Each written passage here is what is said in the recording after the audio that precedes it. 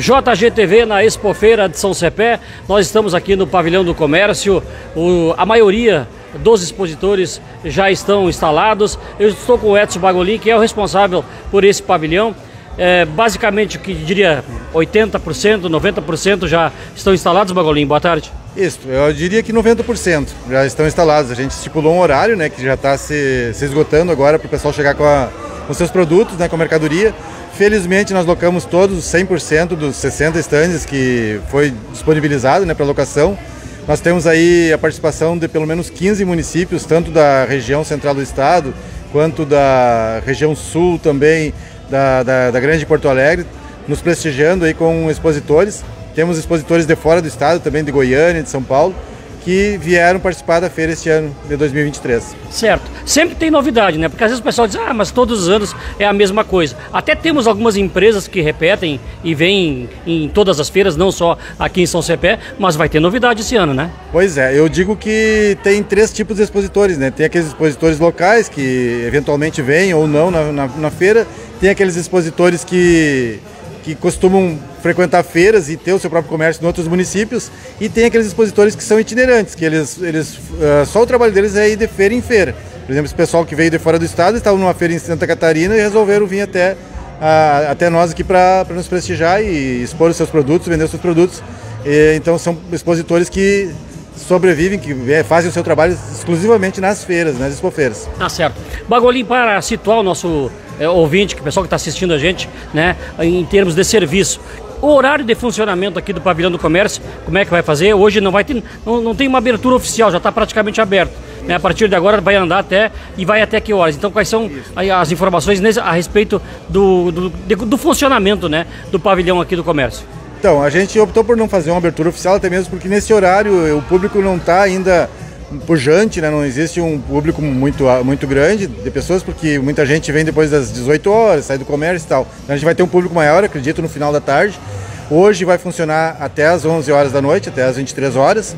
E amanhã, a partir das 9 da manhã, amanhã é sábado, né? A partir das 9 da manhã às 23 horas. E no domingo, então, também, a partir das 9 da manhã, mas aí até, umas 10, até as 10 horas da noite. Porque aí no domingo, geralmente, o pessoal que, que são de outros municípios acabam saindo mais cedo, tem que viajar, né? Então a gente acaba por fechar mais cedo no domingo. Mas nos, nos outros dias, como hoje e, e amanhã no sábado, será às 20, até às 23 horas. Tá certo. Como não está todo mundo é, é, com seu estande montado, a gente não vai dar uma volta, né? O pessoal ainda está organizando, enfim. E amanhã a gente mostra todos os detalhes, vai dar os detalhes para quem for é, vir na feira, ou no sábado, ou no domingo, mostrando para vocês, né? O que, que tem aqui nesse pavilhão do comércio. É a JGTV na Expofeira. Vamos aos comerciais, aos nossos apoiadores e a gente já volta. O Poder Legislativo de São Cepé se soma aos organizadores da Expofeira e expositores que neste final de semana promovem o maior evento do agronegócio da região. A força e determinação dos homens e mulheres do campo fazem desenvolver a nossa economia. A nossa homenagem a todos que cultivam sonhos e colhem bons negócios. Câmara de Vereadores de São Cepé. Cotricel 66 anos. A Cotricel convida todos a prestigiarem a 48ª Expofeira de São Cepé. Visite o estande da Cotricel e encontre promoções e preços diferenciados da agropecuária Cotricel. Produtos veterinários, implementos para facilitar o dia a dia no campo, rações e sal mineral Cotricel, além de assistência técnica especializada para sua lavoura. Cotricel 66 anos de história e orgulho.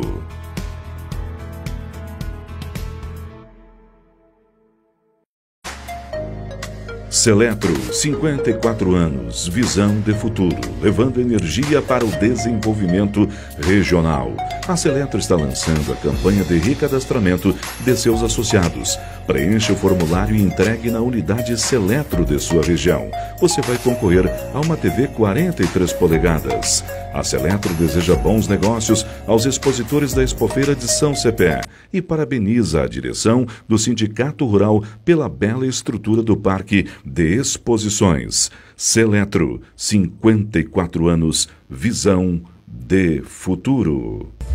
Nós estamos aqui na Praça de Alimentação, no Lonão de Shows. E o pessoal tá achando que tem que pagar show aqui nesse espaço. Foi montada uma grande estrutura, diferente de outras feiras. Claro que para assistir a geneteada tem um ingresso diferenciado. A gente vai explicar porque tem muita gente perguntando no nosso canal, né? Fazendo ali as suas perguntas, enfim, na dúvida em relação a como é que é o ingresso do parque. Eu já vou dizendo o seguinte: ingresso no parque individual, cinco reais. Se você, por exemplo, chega aqui a hora que chegar, bota a pulseira, pode ir para casa, se for de manhã pode ir para casa, volta de tarde, pode ir para casa, volta de noite, é a mesma pulseira, cinco reais. Gineteada, quem vai explicar isso para nós agora aqui é o Márcio. Os shows não são pagos, né, Márcio? Tudo bem? Oi, tudo bem, Garcia? Exatamente. Pessoal, grande dúvida. Porque nos outros anos a gente montava a nossa arena de shows, mas na verdade nós montamos uma arena de shows. Se olhar aqui no fundo aqui, só que ela é anexo à praça de alimentação, né? E esse ano para a gente facilitar mais para a comunidade de São Cepé e também de toda a região, né, vir para prestigiar, é apenas 5 pila paga para entrar. Se pagar entrar 8 horas da manhã. É entrada no parque. No parque. Vai na feira do comércio, assiste os shows, toma um chopp gelado aqui Praça da Alimentação tá top, super bem montada. Temos 400 uh, cadeiras debaixo da arena de shows e da Praça da Alimentação. Então, estamos bem equipados, muito bem. Aí, quer ir descer na gineteada? Temos espaço na gineteada. Que é na pista do cavalo crioulo, na né? Na pista do cavalo crioulo, na arena de rodeios. Desceu aqui, desce ali, paga 10 pila para assistir a gineteada. as gineteadas que tem uma duração de três horas. Por que, que a gente está cobrando esse valor de 10 reais, Garcia? Nós temos 10, 5 mil, perdão, 5 mil reais em premiação, né? E tá difícil, às vezes, a gente conseguir angariar com empresas, valores, é um, também um evento pioneiro, primeiro ano. E é um espetáculo à parte, né, que vale a pena, né? Com Quem gosta paga e não reclama, né? Com certeza, né? É um espetáculo à parte, nós estamos com 40 ginetes de vacaria, fora do estado do Paraná, Alegrete, de, enfim, de todo o estado, né? Então vai ser dois dias da eliminatória, sexta-feira a partir das hoje, a partir das 19h30 tem uma cerimônia de abertura bem bacana que os meninos da Tropilha estão montando lá tem o desenvolvimento. Logo, e em paralelo a isso, a partir das 21 horas, a gente tem a participação né, do Cami e do Caliandra com as suas invernadas. A gente montou um pau aqui, um, aqui um, com tablado para as duas invernadas.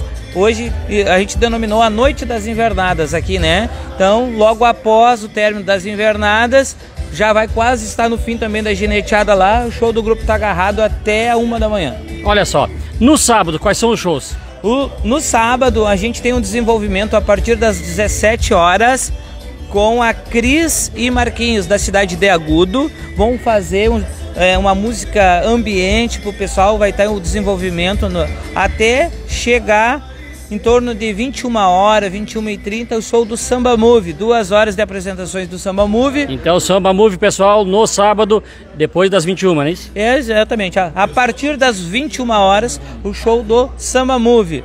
Terminou o show do Samba Move, Robson Souza, né, o pessoal aí que sabe do trabalho do menino, um sertanejão top, até uma hora da manhã, uh, encerramento no sábado a uma hora da manhã. Tá certo. E no domingo? Domingo a partir das 15 horas da tarde, já com música ao vivo no palco também, com esse casal também, Cris e Marquinhos, da cidade de Agudo, até às 18 horas. 18 horas, 18 e 30 o término lá da gineteada do Roseta de Ouro. No momento que terminar lá, o pessoal pode subir para o palco. Né, acho que a premiação vai ser aqui no palco. Vou conversar com o Luan para a gente fazer aqui a premiação dos ginetes aqui. Uh, Joca Martins. Terminou o show do Joca, o show do encerramento da Expo com Gabriel e Matheus. Os meninos aí estão estourados, sertanejão também, até a meia-noite, que é a hora do encerramento né, das atividades aqui. Tá bom, aí então pessoal, vocês tiveram eh, essa então informação a respeito dos shows. Agora a gente vai mostrar um pouquinho então do ambiente. O Márcio vai falar para nós né, de o que, que ele pensou então em relação a esse Lonão que está muito maior, né, em relação aos outros anos e falar também de o que, que já temos aqui, né, que já está funcionando aqui, né. Show que não vai faltar aqui para vocês, eu garanto. Muito bem, Garcia. Então aqui é o palco principal, o palco dos shows, né? Já, já pegando a parte com os mezaninos. Lá temos a caipira, temos pizza em pedaços, os hot dogs, a parte das bebidas, que é a parte central. Mais à frente tem ali a área de alimentação com picanha na tábua, laminutas. Seguindo lá até o final, lá com batatinha. Também temos lá no final doces, cocadas maravilhosas. O pessoal lá de Pelotas está vindo. E aqui também temos os nossos apoiadores, o show, eh, né, o Shop Santa Madre, que a gente montou uma ilha com três chopeiras aqui para servir o pessoal, né? Então, como vocês estão vendo aí nas imagens, olha só, nós temos a disponibilidade de 400 pessoas sentadas, né? À frente das mesas e cadeiras, lá tem um tablado lá de 50 metros quadrados, né? Para o pessoal que quiser dançar também e curtir os shows também. Valeu então, essa é estrutura aqui da praça de alimentação, né? Muito maior que os outros anos, em termos de área coberta, eu falo, né? E tá aí, então, é sensacional o show que vai ter aí os shows todos aqui nesse ambiente sem pagar nada, né? O dinheiro você aproveita e toma aquela gelada, esse chopp gelado, ou faz um bom lanche. E lá ao fundo, o palco então. JGTV na Expofeira de São Cepé. Olha só que tudo. Ei, gente, tô falando aqui do meu cartão Sicredi que é tudo de bom. Tudo mesmo. Sabe por quê? Porque no Sicredi eu tenho uma conta completa e um atendimento como nunca vi, tanto nas agências como no digital. Só tendo conta aqui para saber. Vem logo pro Sicredi, onde o dinheiro rende um mundo melhor.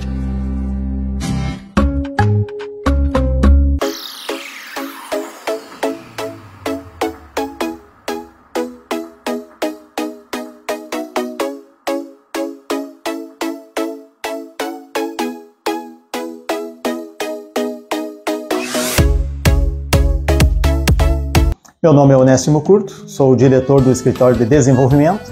Estamos aqui para fazer um convite muito especial à nossa comunidade e aos municípios aí vizinhos.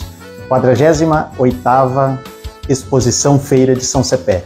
Venham prestigiar. Estaremos presentes no Pavilhão da Agricultura Familiar e também no estande da Prefeitura Municipal. Será nesse final de semana, nos dias 6, 7 e 8 de outubro. Sindicato dos Trabalhadores Rurais de São Cepé, em outubro, 58 anos. A nossa direção e colaboradores, ao longo desses anos, vem trabalhando em defesa dos nossos associados e da agricultura familiar, pois acreditamos na força dos homens e mulheres do campo para produzir mais alimentos. Queremos convidar a todos para que visitem a Expofeira de São Cepé neste final de semana. E o nosso pavilhão da agricultura familiar está à disposição. Sindicato dos Trabalhadores Rurais de São Cepé, 58 anos. Olá, meus amigos. Aqui quem fala é José Aurélio Silveira, presidente do Sindicato Rural. Estou aqui para convidá-los a participar conosco da 48ª Exposição Feira Regional, abraçando toda a nossa região com diversas atrações.